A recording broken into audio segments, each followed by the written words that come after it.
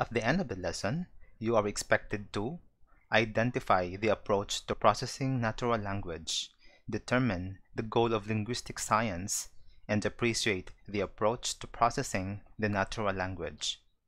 When you talk to a friend, there are times when you realize that the way he uses words and how they are arranged to form sentences are different from yours, of course, because the first could be, or the, the first is that you were born at different places, you have different languages, and you have different experiences. So because of this, sometimes you do not understand each other. So how much more if you talk to someone who came from a different place and who has a different linguistic orientation. So with this situation, our understanding of linguistic science, wherein natural language processing is a part of, is very important. So maybe at this point, you would like to ask me, Joseph, what is the goal of linguistic science? What is this? So linguistic science aims to characterize and explain the many aspects of linguistic observations that are happening around us. So these observations can be found in conversations, it can be found in formal and informal writings, and it can also be found in other forms of communication or communications that use the natural language. So as we go along with our course in natural language processing, we will be able to understand more and learn more and identify more the different linguistic observations. Okay?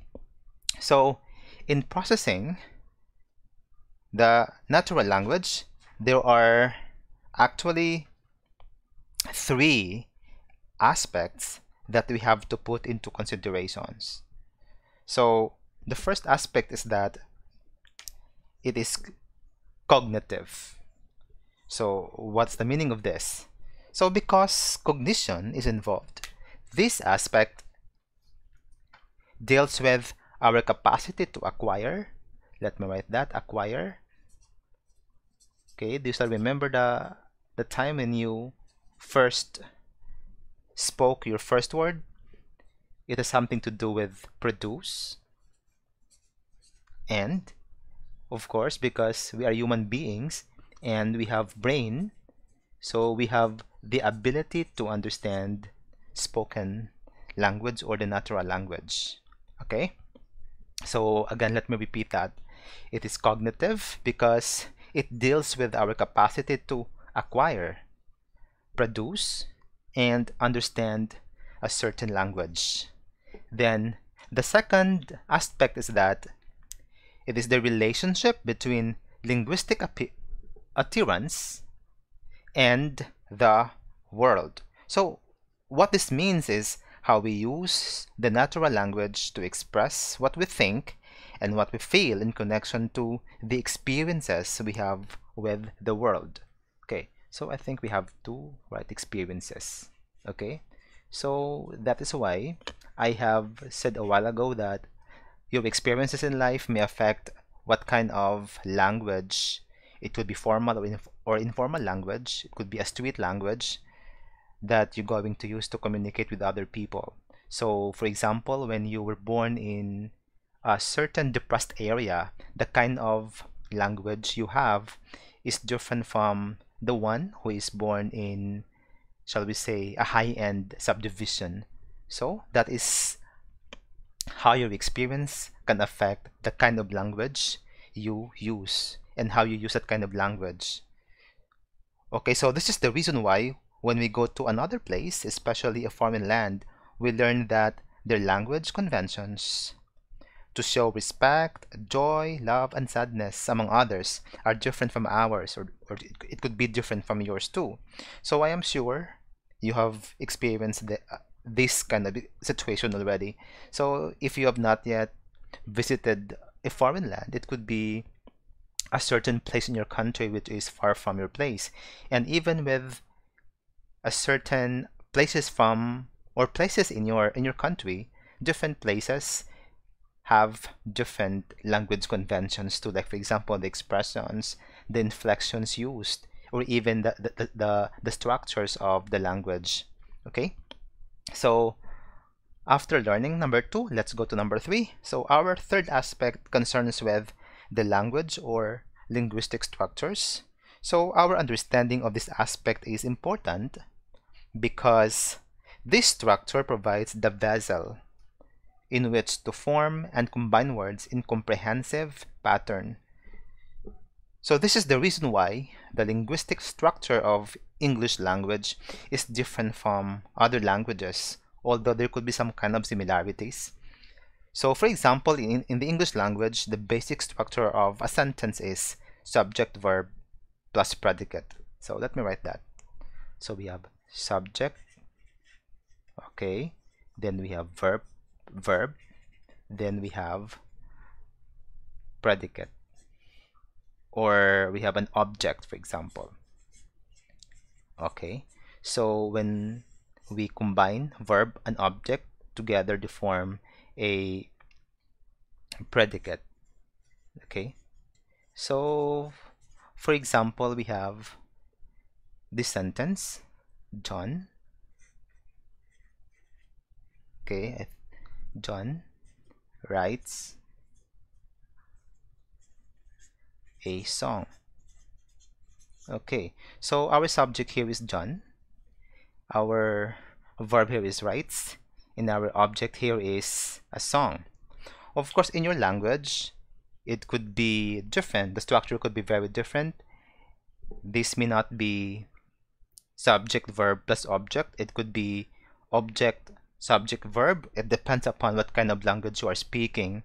So you may compare the structure to the structure of your mother tongue. So please write in the comment below what your language you are speaking, especially your, your mother tongue and the basic structure you have. So in English, basically we have the subject, verb, then we have the object. So this this makes our discussion more meaningful. So this is the reason why there are rules that are used to understand the pattern of linguistic expressions. So when we say pattern, okay, so it it concerns the the grammar structure for sentences or when we say words when we deal with words then it has something to do with how we expand words okay so expand I don't know if you're familiar with we have the suffixes and we have the prefixes prefixes or we call them derivations. So as we go along with our discussions, we will be learning more about patterns or sentence patterns. We will be learning more about word expansions or word derivations. We will be learning about suffixes and prefixes. So if you would like to know more, please don't forget to click the subscribe button below and especially that bell button so you will be able to receive notifications of our future lessons. So as we go along with this course, we will be able to understand these structures more. So, so in the English language, there are lots of syntactics or syntactical rules or grammatical rules. So in our course, before we divide sentences into being grammatical and ungrammatical, we will first understand the commonly used patterns in the language. Okay, so with this, we're going to use statistics as our counting tools. So let me write that. Okay. So we're going to use statistics as our count counting tool to identify linguistic patterns and to, of course, to count how many patterns we have. So at this point, I know what is going on in your mind. You may want to ask me, so Joseph, why do we have to use statistics to understand the natural language processing? What's the connection of this concept to the natural language processing? So the answer is we use statistics to build our scientific foundation. Let me write that. Okay, scientific foundation. So again, we use statistics to build our scientific foundation. So basically, the scientific foundation refers to probability theory. So I have a lesson on that, probability theories. So I'm going to put the link in the description below. So please review and study that lesson properly so for you to be able to understand the scientific foundation of natural language processing. So, but of course, our approach is not that scientific. It could be rigorous or a simple process. So we will deal with our NLP task or natural language processing projects or tasks in building the statistical models of language. So with this, we will be able to understand how practicality and validity of language affect our communication. After all being said and done, let's try this. What is the goal of linguistic science? What are the three aspects of processing natural language? How should we approach natural language processing? Please leave your comments or your answers in the comment below so we could discuss properly and we could have a very rich interaction. So do not forget to subscribe, like, and share. Please click the bell button to be notified every time we have a new session. See you in the next lesson.